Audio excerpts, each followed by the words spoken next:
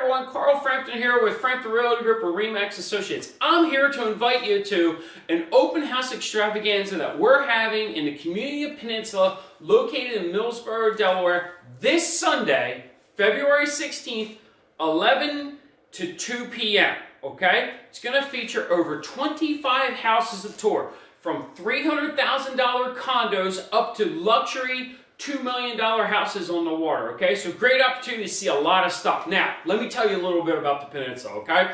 It's a luxury gated community located on the Indian River Bay, okay? It features a Jack Nicklaus signature golf course, 30,000 square foot award-winning clubhouse. It's got an outdoor pool, a wave pool for the kids.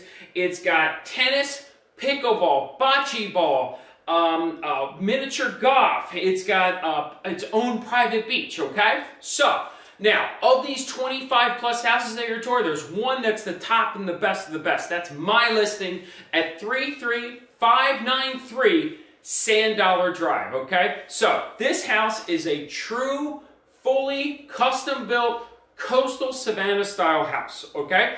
It's got absolutely amazing water views. It's got, it's actually oriented on the Indian River Inlet Bridge, so when the bridge is lit up at night, it's beaming through your windows.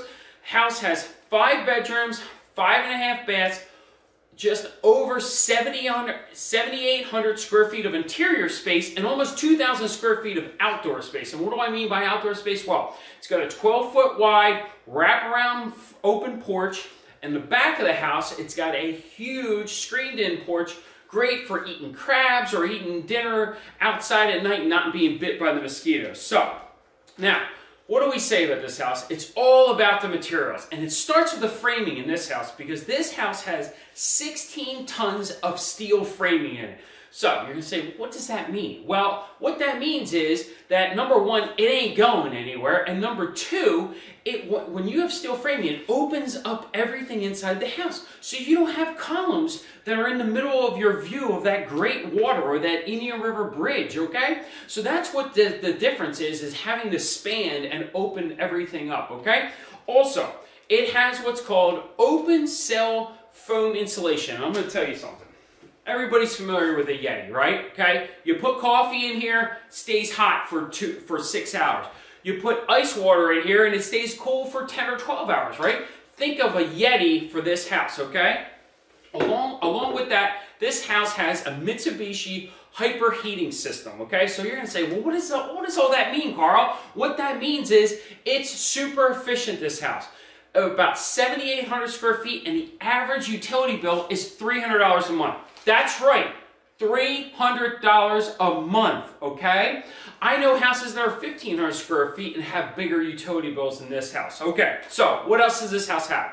On the outside, you got triple layer architectural shingles that withstand up to 125 mile an hour winds, okay? You need that when you're up on the water, okay? Also, we have you have your own private pool only two houses in all of the peninsula have their own private pool. This house has two uh, tankless water heaters. It comes with a generator over 600 amps of power. Now, that's all that deal. Once you get inside and you look at the finishes in this house, absolutely spectacular.